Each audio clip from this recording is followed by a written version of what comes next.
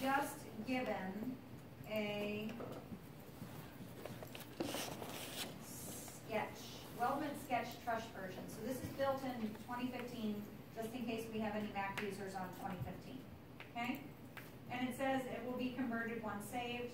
Not a problem. If this was a 2017 file, since I'm running 2016, I couldn't open it. But since it's a 2015 file, I can open it in 2016. Okay. What is a weldment? Experience with weldments? Let's get started. You've already got a sketch and you've got a drawing that tells you what each of the structural members is supposed to be. So down at the ends, um, we've got the, the squares here are all square two by two inch uh, by quarter inch wall tubing on both ends. But then uh, one of your braces is uh, square tubing and one is angle iron, okay? And there's a little complexity here with the angle iron. Um, you've got two by four inch, um, quarter inch wall rectangular tubing on this side, and then you've got C channel on the other side and some more square tubing. You've also got um, some gussets. Does anybody know what a gusset does? Those little plates are called gussets. This is this is a very commonly used um, component mechanical design. What does a gusset do? It's not for screws because this is going to be welded in. No, it's reinforced the joint. It reinforces the joint. So, you know, something that's like this, um, you know, depending on the forces you're applying, it, it can want to do this.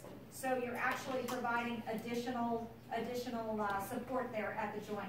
Um, so now you know what a gusset is. I nobody ever knows what a gusset is, but once you get out in the industry, uh, somebody will say gusset. Now you don't have to ask. Uh, the other thing is the way that these ends are mitered, so they're cut on a 45 degree. But these ends are done on what's called a, a, a butt, end butt. So there are no cuts on the ends, um, but you've got open tubing, so you've got some caps that you have to weld on there.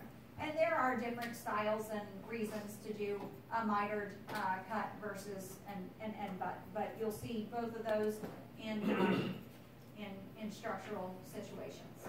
Okay, so let's start throwing some of this stuff in there so that you understand what's going on. And I'm going to orient this to the way that the drawing is so that I don't get confused. Okay, so structural member, ANSI inch.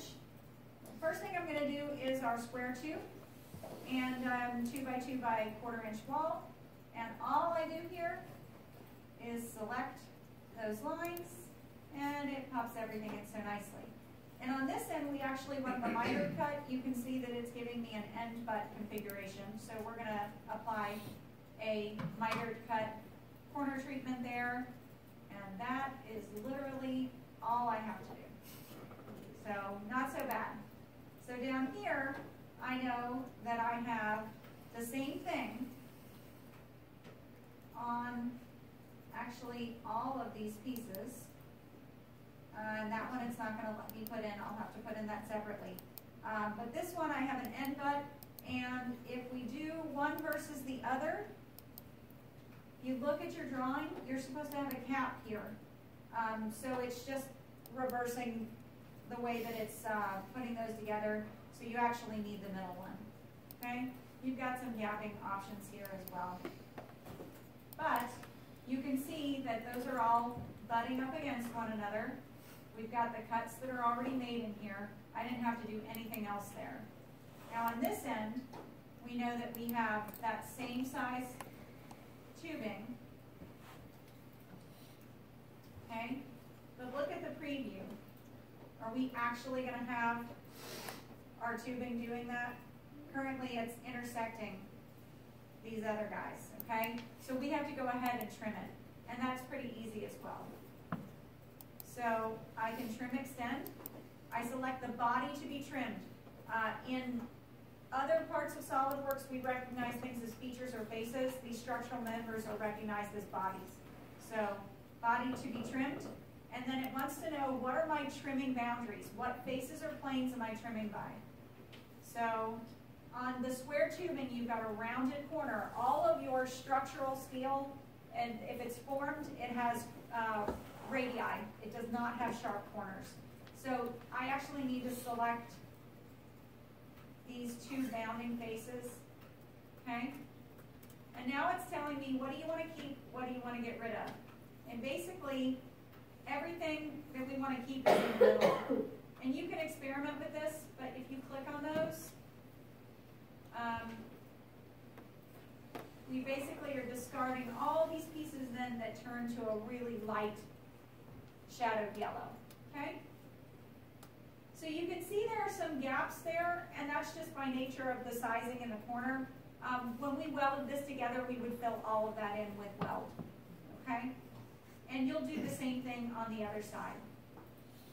All right. On this side, we've got angle iron. ANSI inch as well, angle iron, and the size is, let's see, two by two by eighth inch wall angle. And I'm gonna put it in, um, and then we're gonna come back to it on, on something else. Okay, some options you've got here. It's not, um, you actually want one of these sides to be flush with the outside. And so you've got some options for alignment. So I don't know if I go 45 degrees, that's not the right way. So what do we say, 315? Okay, so that gets me, that wall is parallel now to this outside face, but Jennifer actually wants it to be flush. So I'm going to show you on the um, other tubing how you move the profile of uh,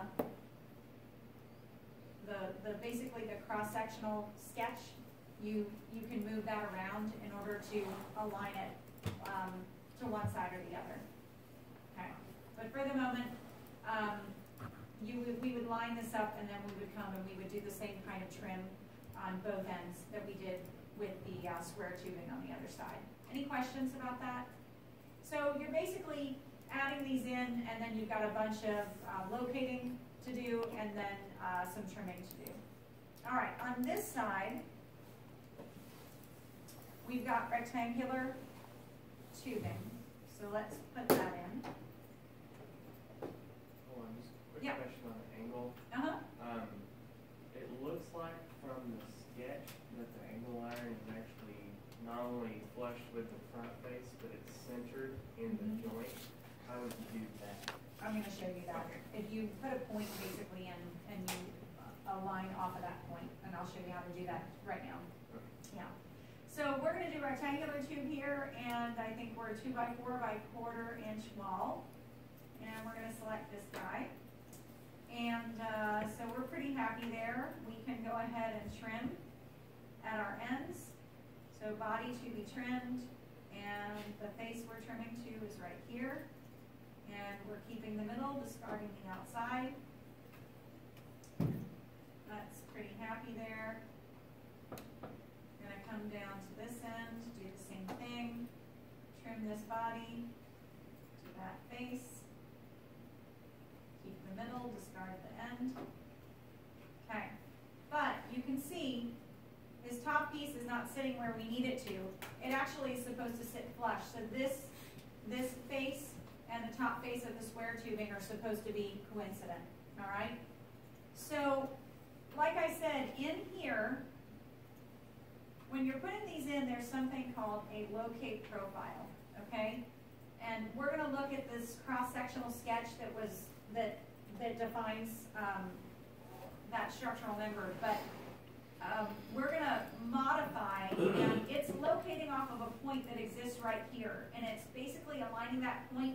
our sketch line. We're gonna put a point right here, and then it's gonna align that point now with this sketch line, which is gonna drop the whole thing down, okay? But that can't be done in, in the, uh, feature, it has to be done in the sketch that defines the feature. So we're going to go drop down into that structural member, we're going to edit that sketch, and we're gonna put, you can see all the constraints that are in there, pretty, pretty happy stuff, but there's a point right there. So we're gonna add another sketch point, okay? And we're we're gonna add it coincident to that center line. And then we can dimension that, and it needs to be one inch above. All right, so now I've got a point, and you can see it's fully defined, it's coincident, and, uh, its height is defined. So I'm gonna exit that, and now I can go back into that feature. I can edit it, and I can do locate profile, okay? And I can select my new point. So it gets a little more complicated for the C channel, because you've gotta do your math to figure out if I'm moving it around in two directions. You've gotta make sure you get your point on the right side with the right dimensions. Um, but it should be just a little bit of playing, or you can work out the math in your head. So what I would suggest is now that you've moved this and you've trimmed it, I would mirror this to the other side, uh, rather than, but if you want the practice, do them both separately. Um, because you've got your top plane, Jennifer built the sketch around it. But just know that if I go to my features and I mirror this, I can select my top plane. And then if I try to select features to mirror, it's, it's not gonna let me select the whole body. I need bodies to mirror, okay? And um, if I try to select here, it will not let me select out of the feature tree. Um, once you trim and trim or extend it, it, it identifies more with the trim for whatever reason. So I can select it from the window, um, not out of the model tree. Okay? So now that one is, should be, since I mirrored it, exactly flush. Okay? Let me show you um, the C channel, the gussets and the end caps real quick. Okay, so C channel, the only thing special about C channel is the size. The size that she gives you is four by five point four. So it's four inches. Um, it's not four inches square, but I think it's this dimension that's four inches. The 5.4 is pounds per foot. So since C-channel doesn't have a, a, a, uniform thickness, they define the thickness by a pounds per foot. So 5.4 is just pounds per foot. Um, just note that you need to have this, uh, you can mirror your profile vertical axis, but you still have a flush problem. You have a flush problem from inside to outside and top to bottom. So the point that you define is going to have to be moving in two different directions from the center point in this sketch. Okay? And if you go into that one, you can open that sketch as well, and you should be able to find your point in here. There it is, it's right, it should be right at the origin for the sketch, okay? And so you're gonna have to locate a point in to some extent and up to some extent. So your point that you create will be somewhere in this area. And then when you align it here, it's gonna drop it over and down. Does that make sense? Okay. All right, last thing, end caps, pretty easy. You've got some options here, but basically you choose the surface you wanna put an end cap on. Uh, you can define where it actually puts the thickness. So um, you can build it completely to the inside, uh, overlapping to some extent. Uh, you can change the thickness of the uh, plate itself. You can change the offset. You've got an offset on there. Uh, you've got a corner treatment as well, so you can use a chamfer or a fillet and define the size of that chamfer or fillet. And Jennifer gives you that information, okay? So they're pretty easy to put in. Gussets are pretty easy to put in as well. I wouldn't do any of these until you're done. But your gusset, you just choose your supporting faces. So basically, what walls am I, am I bounding this or binding it to? And then you've got some options here um, for just a diagonal and then a different profile, triangular or diagonal Okay. You've got some options for dimensions here. You've got some, like I can change this to fifteen degrees. Starts making it look pretty funky. That's not a real effective gu- gusset there. Um, you can change where it's adding your thickness to the top, to the bottom, um, the thickness as well, and you've got some options on your location too. And basically, it's going off of this, these edges to define whether it puts it in the bottom or the middle. Okay? And you've got an option to change, to change those, uh, those things as well. Okay, so little, little options to play with there. Gussets and end caps should go pretty quickly. I think you'll end up spending the most time on trimming and then re- relocating your angle and your, um, your, your mid bars. These are all tubing, two by two tubing. Um, they should be okay on center. I don't think you have to move those, you might, and then you're just gotta trim your ends. Okay? I'd probably put these, one of the last things I do would be these, these supports. Any questions? All right, great. So Caleb, uh, not Caleb, Daniel is here. I've got Caleb on the brain today. Daniel is here, and, uh, so if you have any